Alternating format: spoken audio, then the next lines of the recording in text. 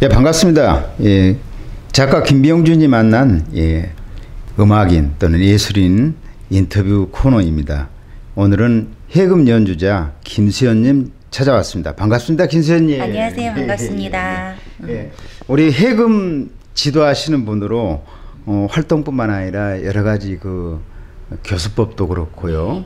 어, 굉장히 인기를 끌고 있다는 소문을 네. 듣고 제가 찾아왔습니다. 아, 그러니까 우리 김수현님 그 해금 쪽 네. 어, 지금 현재 그 지도하고 있는 네네. 우선 나는 해금을 이렇게 지도한다. 네네. 또는 나는 해금으로 해서 사람들을 이렇게 즐겁게 해주고 싶다. 아, 예, 그런 쪽 네. 예, 생각을 또 얘기를 해주셨으면 좋겠습니다. 아, 아, 저 제 수업의 음. 주제는 학생분들이 쉽고 재미있게 배우고 무엇보다 학생들이 해금을 하면서 행복했으면 좋겠다가 제 음. 목표거든요. 그러니까 제가 이제 강사 생활 10년 넘게 했는데 학생분들이 보통 말씀하시는 게 선생님은 저는 요즘 회사 생활하면서 너무 힘든데 음. 해금 배우러 오는 낙으로 살아요. 그리고 해금을 배우는 순간이 너무 행복해요라고 보통 말씀을 하세요. 그리고 또 취미생분들은 해금을 하면서 좀 아, 해금 어렵다 이런 인식이 많은데 저는 제가 이제 수업 수백 명을 가르쳐 온 노하우와 그리고 10년 넘게 수업 연구를 계속했어요. 시행착오를 겪으면서 이제 제가 어렵게 배운 거를 학생분들에게 차근차근 또 쉽게 배울 수 있는 음, 방법을 계속 생각했어요. 어, 그리고 이제 학생분들이 보통 이제 정관보만 하면 좀, 아, 전통 음악만 하면 좀 심심하고 지루할 수 있는 거를 좀 오선보 같은 거 좀 쉽게 주위에서 접할 수 있는 가요나 뭐 퓨전 음악 뭐 드라마 OST 같은 것도 많이 하는데 그 대신 또 오선보를 그냥 보시는 게 아니라 나중에 혼자서도 읽을 수 있도록 또 학생분들이 그냥 해금을 그냥 켜시는 게 아니라 차근차근 뭐 음악적 요소라든가 이런 것을 할 때 뭐 길이라든가 뭐 강약이라든가 그리고 나중에는 학생분들이 한 고급 과정에 다시 들어가시면은 자기 감정을 솔직하게 해금과 하나가 되어서 표출할 수 있- 있도록 그렇게까지 이끌어드리는 게 목표예요. 그리고 다 그만큼 단계 올라가시면 또 반주와 함께 혼자서 어디서든 누가 어, 해금 배워 그럼 나 연주해줘 그럼 내가 자신 있게 반주와 함께 연주하실 수 있도록 이렇게 이끌어 드리는 게 제 수업 목표입니다. 그래요. 그 그동안에 활동해 오신 그런 면모를 에, 들어보니까 방송 출연하시면서 꾸준히 해금 에, 알려오셨고 그다음에 어, 일반 뮤지션들하고도 같이 네네. 또 같이 음악 활동하신 네. 그런 얘기도 그리고 또 그 국립국악원의 학생들을 대상으로 한 그런 학생들. 에, 지도한 얘기도 들었습니다. 아. 그 활동해 오신 얘기들 중 몇 가지 좀 간추려 주시면은 아, 저희 제가 이제 학원에 한 8년, 9년 정도 있었는데 그때 이제 학생분들이 오시는 분들 대부분이 다 처음 해금을 아예 모르시는 분들이에요. 근데 이렇게 배우시면서 재밌으시니까 저한테 한 번 오신 분들은 뭐길 몇 년씩도 배우시더라고요. 그래서 그 학생들을 처음부터 차근차근 재미있게 흥미롭게 가르쳐서 나중에는 그분들이 국립국악원의 해금 앙상블로 공연도 무대도 공연 올린 것도 지도도 하고 또 제가 이제 거기서 사회도 보고 그리고 그건 좀 큰 공연이잖아요. 네. 작은 공연은 저는 항상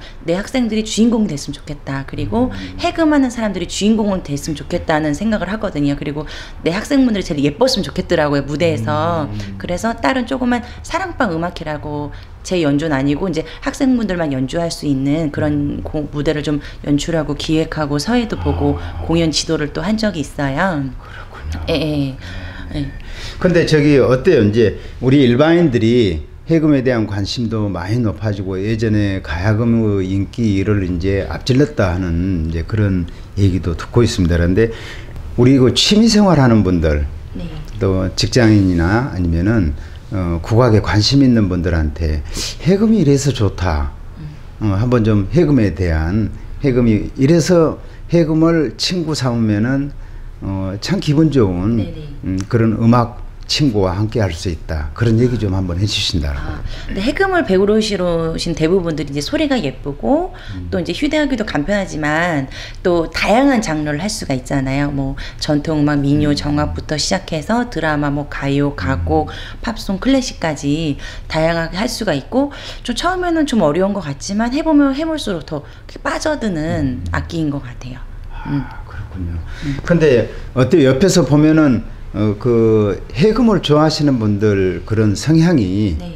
그래도 어, 기악조 하시는 분들이 일반적으로 그렇긴 합니다만은 한번 정 주면은 좀 오래 가는 편이든가요? 예, 저- 저도 학생들한테 정을 되게 많이 드리는 편인데 학생분들이 또 저, 저한테 너무 감사할 정도로 많이 정을 주시고 또 많이 챙겨주시더라고요 학생분들이 그래서 제가 진짜 10년 넘게 수백 명을 가르쳤는데도 제가 이제 아기를 잠깐 뭐 학생분들이 배우시다가 사정이 다 직장인들도 많으시니까 좀 그만두시는 분들도 많잖아요. 근데 몇 년 지나서 다시 오시고 또 쉬시는 동안도 계속 연락을 주세요. 선생님 안부 솔직히 제가 뭐 학교 선생님도 아니고 학원 선생님일 뿐인데도 학생분들이 또 생각을 해주시고 기억을 해주신다는 것마다 저는 큰 감사함이더라고요. 그래요, 그래요.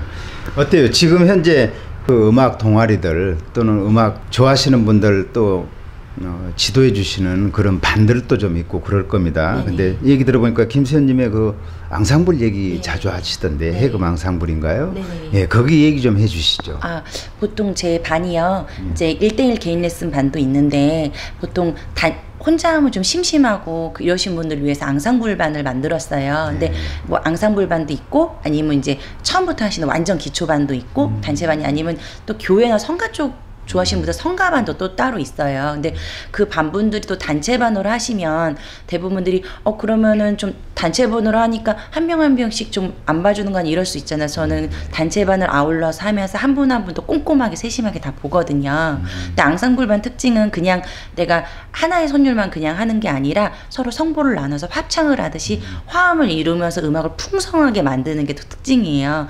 근데 또 그게 일대 개인 레슨이랑은 또 다른 장점이 다른 사람의 소리를 또 들을 수 있고 다른 사람의 호흡을 맞출 수 있고 또 내가 실제로 혼자 연주할 수 없는 그럴 때는 찾아볼 수 없는 또 풍성하고 멋진 음악을 더 연주할 수가 있거든요. 어, 근데 앙상블반은 제가 그 앙상블 우리 해금이 앙, 성부가 나뉘어져 있는 악보잖아요. 그래서 그 수업 자료들을 거의 한 6, 7년 가까이 제가 연구를 해가 그걸 찾았어요. 왜냐하면 그게 보통 잘 없더라고요. 시중에도 잘 없고 또 그게 앙상블 곡이 전공자들이 하는 어려운 곡은 많은데 취미생들이 할 수 있는 초급부터 이렇게 단계별로 나눠져 있는 게 없어요. 그래서 아주 쉬운 곡부터 또 학생들이 단계별로 초중 고급으로 나눌 수 있는 그런 수업 자료 연구와 또 반주까지도 또 수업 지도하는 방법도 있잖아요. 그거를 거의 한 7, 8년 동안 연구를 해서 마련을 했습니다. 어떻게 서적으로 좀 낼 생각은 어떠세요? 아 그래야 되는데 한번 고려하고 있습니다. 생각하고 있습니다. 어, 예, 네네네. 예. 그런 교수법이나 또 일반인들에게 조금은 더 풍성하게 선물을 주는 일이거든요. 네네, 왜냐하면 네. 전공자들이 할 수 있는 그런. 예, 어떤 그런 음악 행위인데 네. 이 일반인들도 쉽게 네네. 곡에 따라서 그 쉬운 곡도 더 멋있게 네네. 예, 충분히 그렇게 전달이 되고 또 즐길 수 있잖아요. 네네네. 아 그런 법들은 좀 저도 어, 책으로 한번 만나보고 싶네요. 네네 감사합니다. 그래요. 김선님 앞으로 해금 연주자로 또 해금 그 명강사로 네. 어, 지금 앞으로 그 계획하고 구상하고 나는 이렇게 좀 했으면 좋겠는데 또 이런 날도 있었으면 좋겠는데 또는 이런 분들하고 어, 그런 무대를 한번 했으면 좋겠는데 그런 여러 가지 구상이 많으실 네, 거예요. 네, 네. 아, 제가 지금까지는 이제 아무래도 제 개인 활 레슨도 하면서 개인 활동을 많이 했었잖아요. 이제 전에는 이제 방송 뭐 엠넷이나 뭐 뮤직뱅크 같아서 가수도 섹션 활동도 하고 이제 라디오 방송 같은 거또 많이 했거든요. 그리고 또 인터넷에서 그러니까 예를 들어서 뭐 거제도나 이런 데서 해금을 배우지 못하시는 분들을 위해서 무료로 해금 강의도 인터넷에 열었었어요. 근데 이제 연주자 생활은 저 개인적으로도 하는 게 좋은데 이제는 학생분들과 좀 많이 더불어서 하는 걸 하고 싶더라고요. 그래서 학생분들과 같이 기회가 되면 국내에서도 공연을 많이 하고 또 해외까지도 나갈 수 있는 아, 예, 그런 학생분들과 함께 호흡하는 그런 수업을 또 더 많이 하고 싶습니다. 그래요. 지금 현재 어, 지도하고 있는 쪽, 네네. 어, 그 장소나 그 위치도 좀 알려주시죠. 아, 지금은 제가 두 군데 살고 있는데 종로는 이제 낙원상가 근처 종로 국어관이라고 예, 여기서 하고 있고요. 어, 낮에도 하고 또 저녁반도 있고요. 그리고 또 한 군데는 이제 오류동이나 천왕역 쪽에도 레슨실이 또 하나 있어요. 그래서 그 두 군데서 하고 있습니다. 그래요, 그래요. 우리 해금 연주자 김수현님, 예, 그 지금도 열심히 해금으로 많은 분들에게 즐거움과 행복 주고 계십니다만은 앞으로도 더 많은 직장인 일반인들 어, 해금 사랑하시는 분들한테 큰 예, 즐거움과 복을 나눠주시길 빌겠습니다. 오늘 말씀 고맙습니다. 아, 감사합니다. 예. 딱 됐습니다.